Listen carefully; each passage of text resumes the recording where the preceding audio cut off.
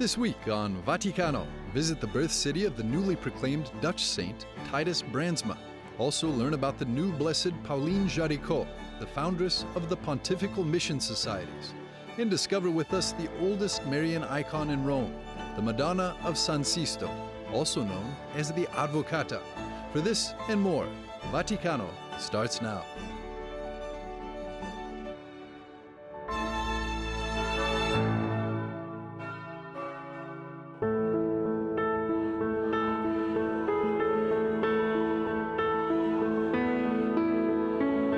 Francis on Sunday, May the 15th, recognized 10 new saints of the Catholic Church during a canonization mass attended by an estimated 45,000 people in St. Peter's Square. They were the Church's first canonizations since the COVID 19 pandemic began. Religious men and women, priests, and a layman were among the 10 people now officially recognized as being in heaven after living lives of exemplary holiness on earth. Holiness doesn't consist of a few heroic gestures, but of many small acts of daily love, Pope Francis said during his homily. 15 aprile 1607, San Paolo VI lo dichiarò beato The Mass began with the rite of canonization, which included the reading of short biographies of each blessed Charles de Foucault, Titus Brandsma, Devasahayam Pillai, Marie Rivier, Maria Francesca of Jesus, Maria Domenica Mantovani, Maria of Jesus Santo Canale, Cesar de Bus, Luigi Maria Palazzolo, Giustino Maria Russolillo. Hanno scoperto una gioia They discovered an incomparable joy, and they became brilliant reflections of the Lord of history. For that is what a saint is a luminous reflection of the Lord of history. May we strive to do the same. Proviamoci anche noi. il beato Charles de Foucault. One of the new saints is Charles de Foucault. He was a French soldier and explorer who became a Trappist monk and missionary to Muslims in Algeria. Known as Brother Charles of Jesus, he was killed in 1916. Sunday evening, after the canonization Mass, a musical performance depicting the life of Saint Charles de Foucault was performed in Rome.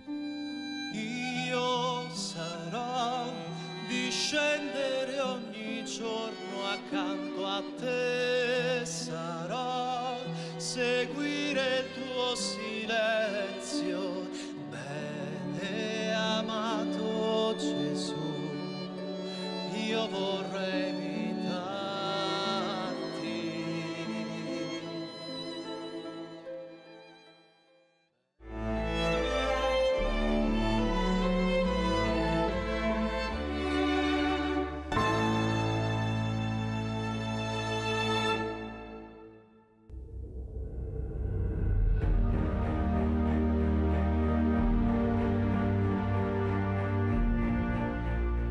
When the sick will come, carry him to bed, and as if the Lord was welcomed, offer him the best the house can give. From the first rule of 1140 of the Order of Malta.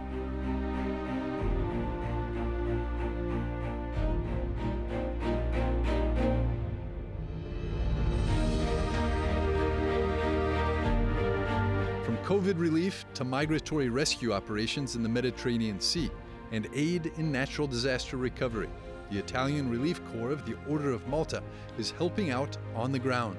For over 900 years, the Sovereign Order of Malta has been upholding human dignity and caring for people in need.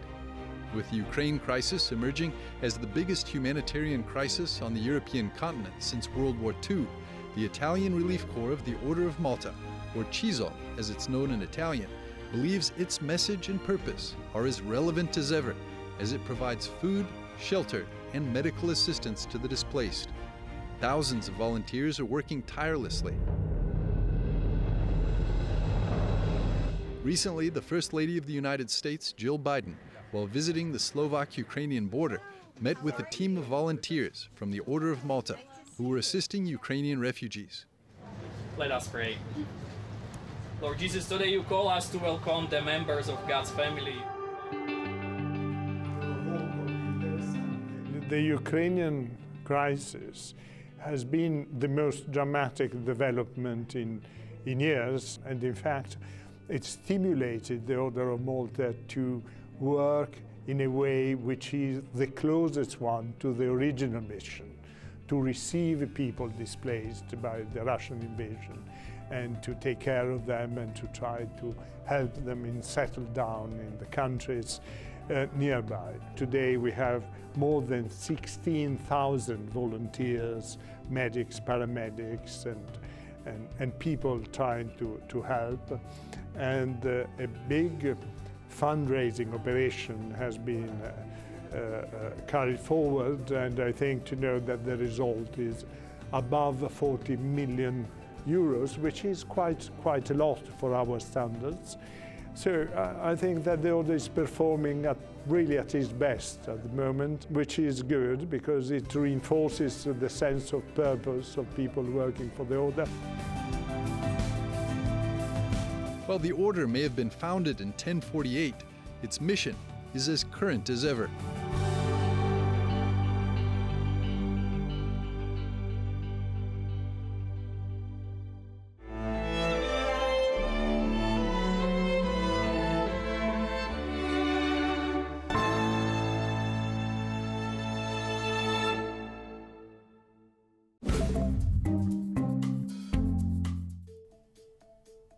Hello, and welcome to this week's Vaticano Updates, the most important news from the Holy Father and the Vatican. The 16th annual exorcism course took place in Rome. Catholic priests and lay people from around 25 countries came to Italy for the event called the Exorcism Minister and the Liberation Prayer. 120 participants from countries such as Colombia and Nigeria learned about this important ministry of the Church. Pope Francis invited grandparents and the elderly to join a spiritual and nonviolent revolution. In his message for the Second World Day for grandparents and the elderly, the Pope urged seniors not to despair at their frailty, but to embrace a new mission of caring for others. On May 10th, Pope Francis sent a letter to the head of the Copts, Tawadros II, celebrating the ninth anniversary of Coptic Catholic friendship. Francis said he hopes for a continuation of the common pilgrimage.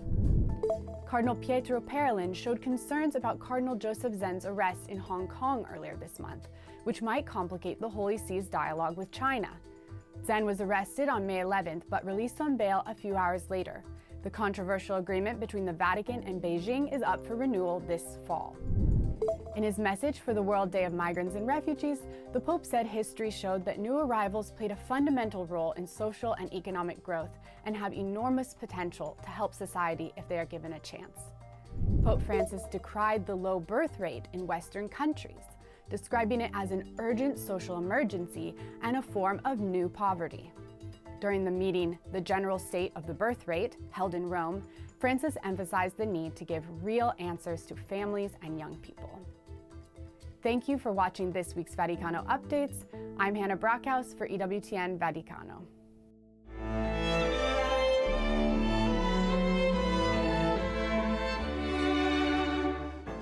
In a few moments, we'll be back with more on Vaticano.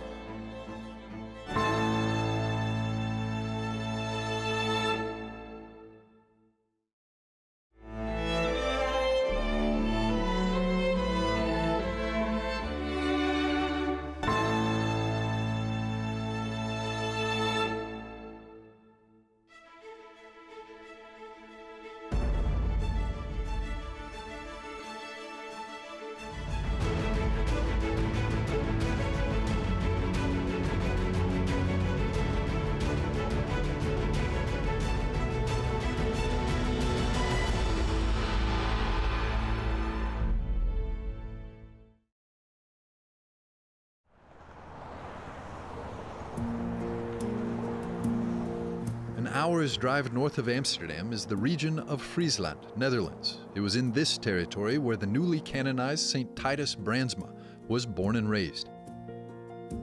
To better understand his origins and impact, we follow his trail of sanctity by visiting the town of Bolsward. At the edge of the town of Bolsward is a dairy farm, still operated today by the Brandsma family.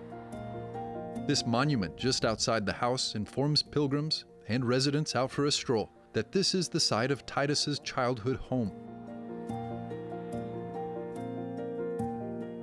Among the village's canals is the De Tiid Cultural Museum, where on the second floor of what used to be the City Hall, the Titus Brandsma exhibit holds artifacts from the saint's life.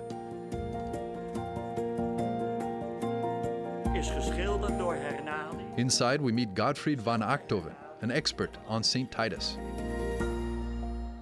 Dit is de Titus Brandsma-zaal. This is the Titus Brandsma room, where we have an exhibition that has been set up especially for putting Titus in the spotlight on the occasion of his canonization.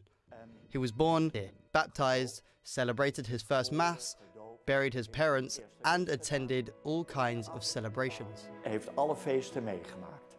Here lies the baptismal register of St. Martin's Church, where it is written that Titus was born and baptized. He received the names Anno Sjoerd Titus, legitimate son of Titus, and Titia Bosma. So already, then he was called Anno Sjoerd Titus. So with the name, he would also carry as friar. Titus Brandsma is voor mij inspirerend. Titus Brandsma is an inspiring saint for me because he is a very versatile man and he is a man of depth. He is profound. He had drawn this mainly from his contemplative life, from his life as a Carmelite.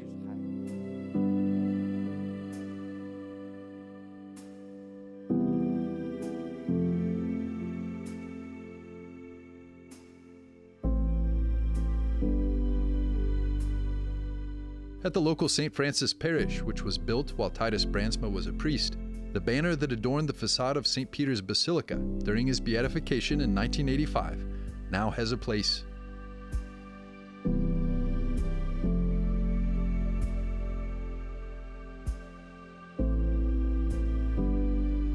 Father Arjen Boelsma shows us a chapel that was added near the entrance of the church where pilgrims are invited to pray.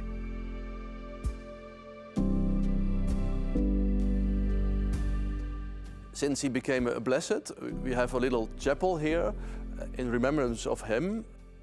Of course, there are no real relics of him. I think rather special. We have an, an, uh, an urn, it's called in English, I think, and um, there are some ashes from Dachau. The remembrance of Dachau, he being killed and also cremated there, is for us very important.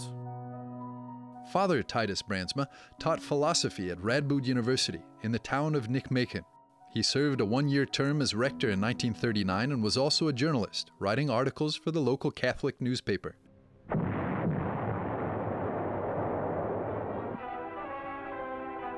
When Nazi Germany invaded and took control of the Netherlands in 1940, his influence and role in the community made him a target of the Third Reich.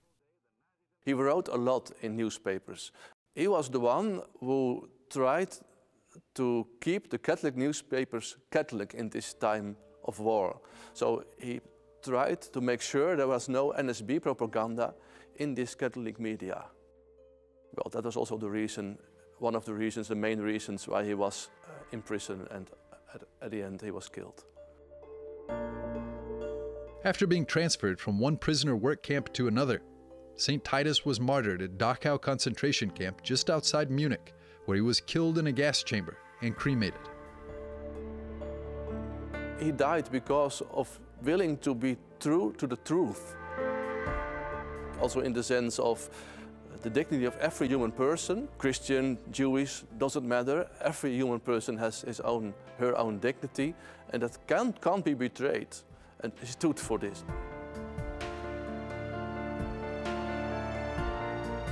St. Titus Brandsma from Bolsward held the world's attention on Sunday with his canonization banner displayed over the main door of St. Peter's Basilica, as he and nine other blesseds were declared saints by Pope Francis. Titum Brasma.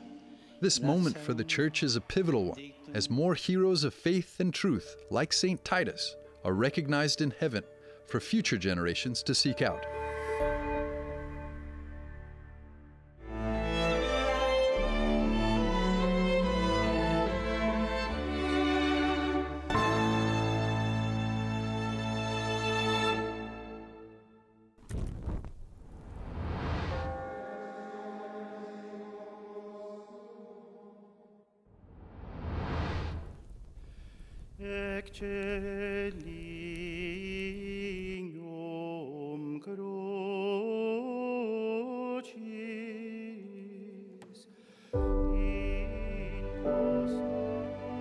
There are more than 1 billion Catholics in the world today. A young Frenchwoman played a crucial role in the extensive growth of the Church over the last two centuries. She played such a significant role, in fact, that it's really quite surprising how little known Pauline Jaricot is. Two hundred years ago, in 1822, she created an initiative that soon became pontifical and thus internationally recognized as an official part of the Universal Church. The Pontifical Mission Societies became the engine for the evangelization of the peoples of Africa, Asia, and Latin America, and are still operating worldwide today. The current president of the Pontifical Mission Societies, Archbishop Giampietro Dal Toso, admires Pauline Jaricot for her perseverance and also for the fact that even then she was far ahead of her time. It was always very impressive for me to see, for example, how very quickly after its founding this work spread to other countries. Germany, as early as 1834, example in Aachen, what we know as Missio Aachen, or in Munich in 1838, what is known as Missio München. But at first, Jaricot's life seemed to confirm some of today's influencer cliches. She was born in Lyon, France on July the 22nd, 1799, the daughter of a wealthy family of silk manufacturers. Contemporaries described her as pretty and worldly, but also spoiled, vain, and arrogant. She went a little astray until at the age of 17 she heard a sermon on vanity that changed her life. She began to give away her fortune to the needy, simple laborers, and the sick. In addition, she built a network to support the missionary efforts of the church around the world. Der Zweck ist, wenn ich das in einem Satz sagen kann, The purpose, if I can say it in one sentence, is to strengthen the structures of the local church. So the idea was we have big mission countries. We have a great mission to missionize these countries. By mission, we also mean to establish a local church. And the pontifical mission societies have always had the task of establishing, financing, strengthening the structures of the local church. The pontifical mission societies have therefore founded and financed seminaries from the very beginning, so that this very idea is also strengthened. We need priests from the local area, and only then can a church also be called an important local church, if it also has priests and religious from its own ranks. However, the founder, Pauline Jaricot herself, had to endure severe defeats during her lifetime. After a healing experience, which she attributed to St. Philomena, she collected money to build a model factory where workers would have better conditions. But Jaricot was cheated by the administrators and went bankrupt. Completely impoverished and discredited, she died on January the 9th, 1862. But her life's work developed into a precious instrument of evangelization. The charism of Pauline Jaricot is, if I had to say it in one sentence, I could of course say quite a lot. That we all, as baptized Christians, have a responsibility for evangelization, and that we all participate in this evangelization, very concretely through prayer, through sacrifice, also through giving. But the idea is, all of us can, all of us as baptized people, can participate in this missionary work. an dieser äh, Missionsarbeit teilnehmen.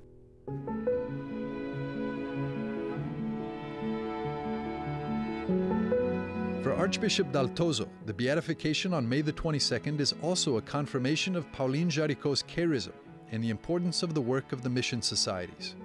For the generation of digital natives, on the other hand, her life can also be a model.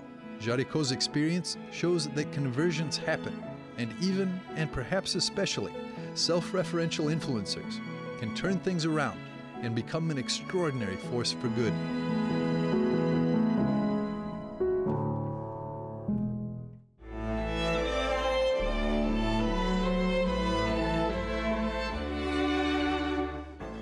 We'll We'll be back after a short break with more on Vaticano.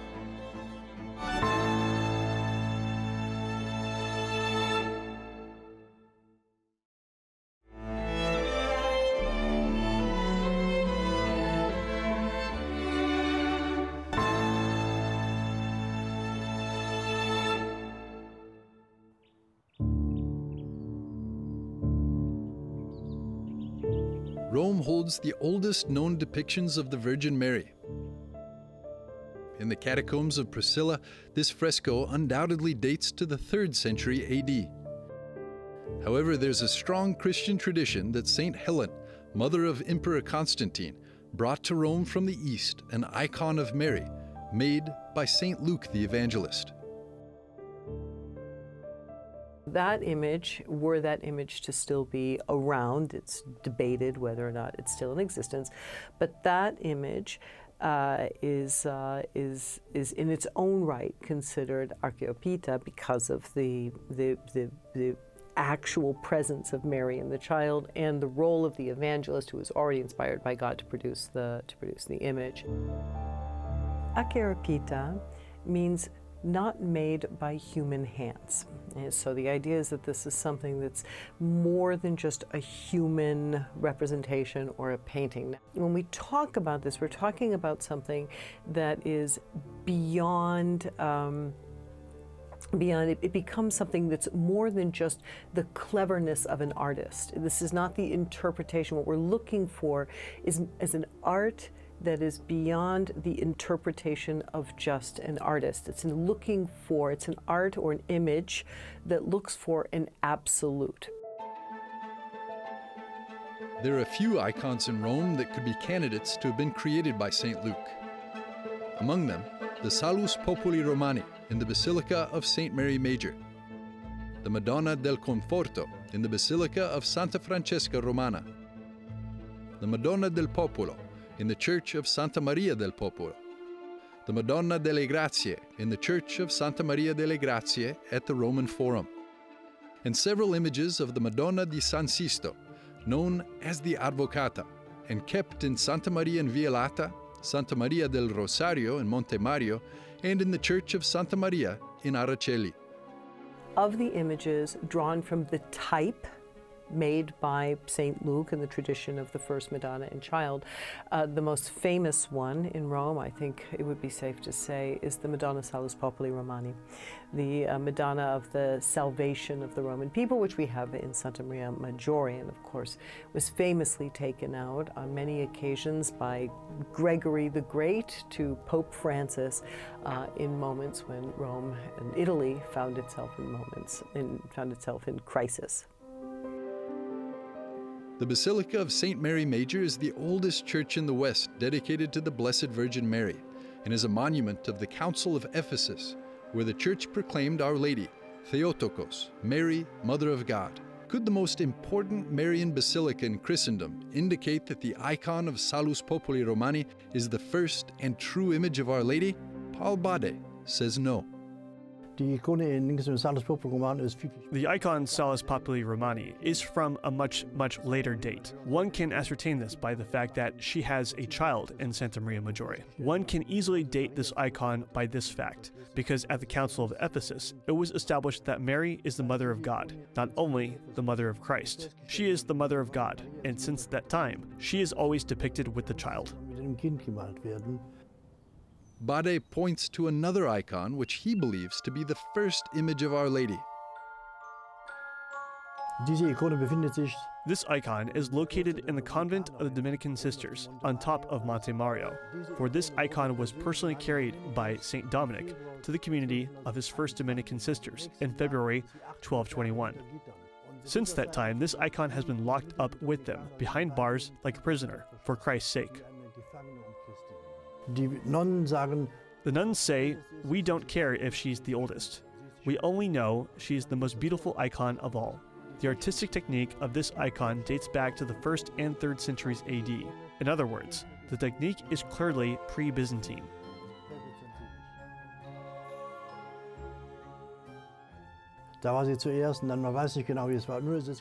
It only seems clear that this icon came to Rome in the Great Iconoclasm. In the iconoclasm, she was rescued from the east and came here to the west. There's a very important quotation from Archimandrite Zenon, who said, In the time of the iconoclasm and the time of the iconoclastic controversy, the church defended the images.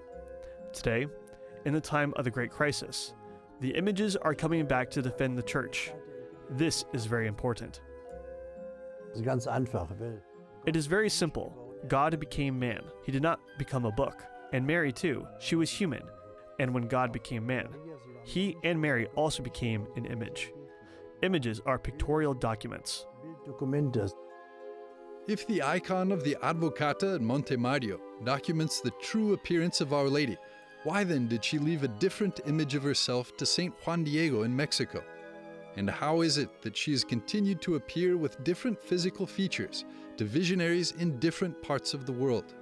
Watch the next Vaticano to discover the answers.